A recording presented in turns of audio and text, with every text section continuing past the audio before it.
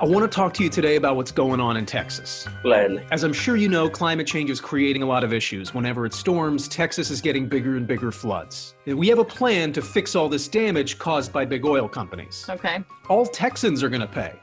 Are you being serious right now? So, your share is $7,717. Um, well, I don't really have seven thousand dollars. Oh no.